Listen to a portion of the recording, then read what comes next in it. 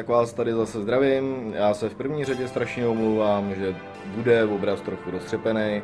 Nemám sebou žádný stabilizátor a hlavně nemám ani svoji kameru. Takže to natáčím na telefon. E, natáčím to z toho důvodu, abyste opravdu věděli, že jsem v práci. Proč? Bylo nebylo. Hm. Dneska přijela dodávka Česká pošta s tím, že mi dali normálně papír, kde je napsáno zásilka větších rozměrů. E, asi se to už nevlezlo ani do té dodávky.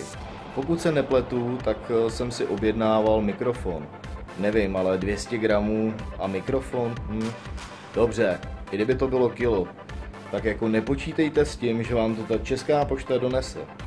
Opravdu jsem fakt práci a teď vidíte sami, že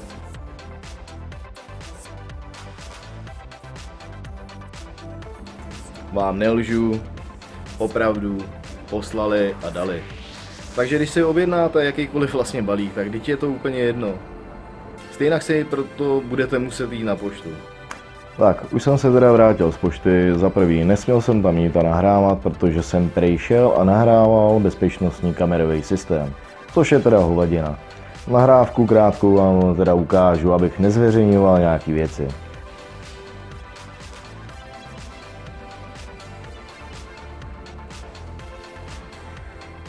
Ani mě nevadí to, že jsem tam nemohl jít a nahrávat. Eh, nechci být vulgární, ale strávil jsem tam přes hodinu a půl pomalu času, to za prvý. A za druhý, eh, ta zásilka větších rozměrů. Lidi, to je balík, jak kdybych si šel a koupil boty. Jako k tomu fakt už není co dodat prostě.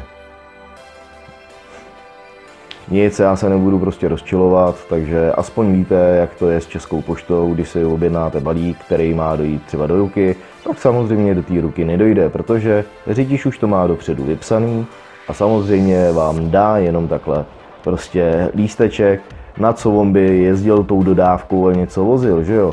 Teď od toho přece on není placený. My jsme s prominutím hloupí, že vůbec chodíme na tu poštu.